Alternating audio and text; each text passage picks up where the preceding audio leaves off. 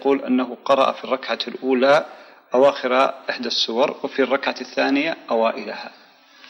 إذا كانت القراءة في موضعين فتنكيس آه، الآيات آه، في قراءة متفرقة لا حرج فيه. وإن كان الأولى أن يراعي الترتيب. هذا إذا كان في قراءة يقرأ الركعة الأولى مثلا الله لا إله إلا هو الحي القيوم أو يقرأ في الآية في الركعة الأولى آمن الرسول بما أنزل إليه من ربه.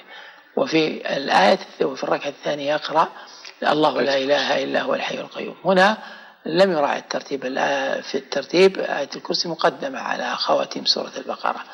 لكن هذا لا حرج فيه بمعنى أنه مباح لأنه قراءة لأن كل سورة كل ركعة تستقل في قراءتها ولا ترتبط بالسابق. فبالتالي لا حرج في ذلك والأولى أن يراعي الترتيب.